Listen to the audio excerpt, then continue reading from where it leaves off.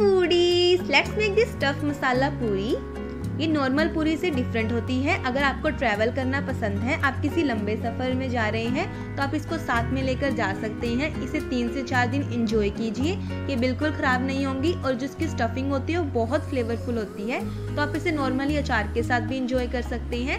पहले हम इसकी स्टफिंग रेडी करेंगे जिसके लिए हमें यूज़ करेंगे बेसन। ऐड करेंगे थोड़ी सी धनिया के पत्ते जीरा पाउडर सोल्ट, हल्दी पाउडर और ग्रीन चिली।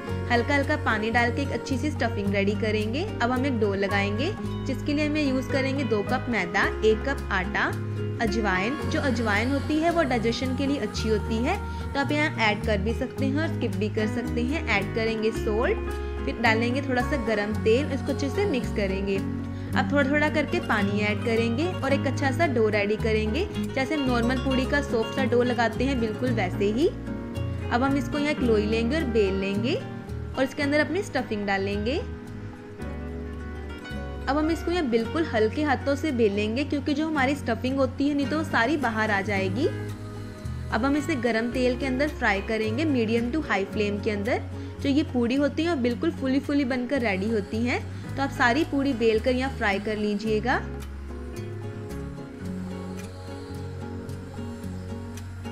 ये जो पूड़ी होती है, वो कचौरी से डिफरेंट होती है क्योंकि ये सॉफ्ट होती है। जो कचौरी होती है, वो खाने में थोड़ी हार्ड होती है।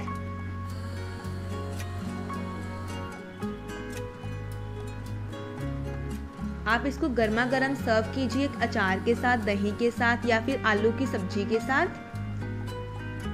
एंड इट्स रेडी अगर आपको वीडियो पसंद आई हो तो लाइक शेयर एंड सब्सक्राइब